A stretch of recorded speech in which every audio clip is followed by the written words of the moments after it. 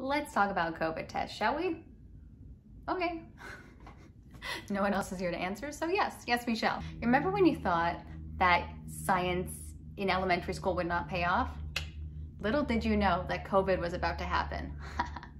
As I'm about to be a scientist, I should probably put my hair up. Now, I don't find COVID funny, but I do find the notion of rapid tests at home quite funny. COVID test comes in a pack of five. Test tube trays comes with eight options. I only have five test tubes, but eight places to put them. So it's like when you go to the store and you see they sell hot dogs in a pack of six, and then they sell the hot dog buns in a pack of four, and it's like, oh, I gotta buy more buns. Ah. It's definitely a normal amount of instructions. Okay, cool, cool. But don't worry, it, it comes in French, so we're good, we're good. There's no hard words in the cue card at all. Actually, you know what? There aren't. I was gonna make fun of it. there goes the joke. Still, oh, this was what was funny. There's step two, option A, nasopharyngeal swab. Got an anatomy background. Oh, there's step two, option B, nasal swab.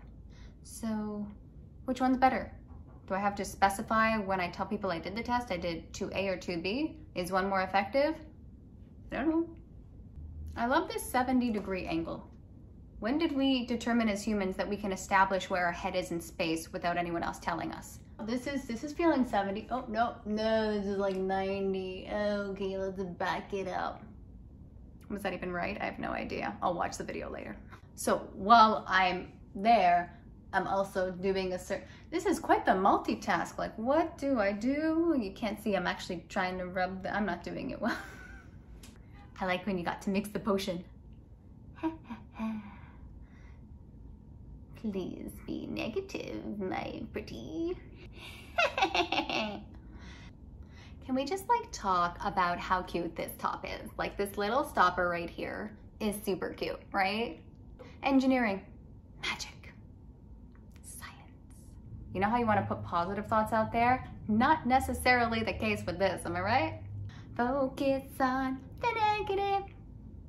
Did I steal that from Waitress? Yes, I did. This is my favorite thing. You see this little dot here? It reminded me when I was doing it of those little, uh, what are they called? Those games at the fair where you have to shoot the water at the hole. So I thought, ooh, hope I don't miss.